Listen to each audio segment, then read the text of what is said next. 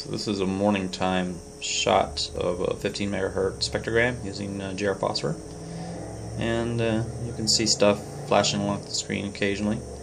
There's some uh, rapid RFI occasionally, but you can see uh, meteor pings uh, zip along on channels 2, 3, and 4 across the entire bandwidth. So, and generally things look pretty clean most of the time. Uh, it you know things appear to be RFI, generally RFI free. So that's uh, pretty encouraging.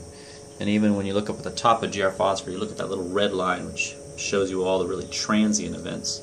You can see that generally there aren't even many uh, transient uh, interference pops except for those meteor showers uh, strikes. So uh, that's really encouraging. So this is one antenna. Looks pretty good. There's a nice meteor ping that's looking pretty strong right there on channel 3.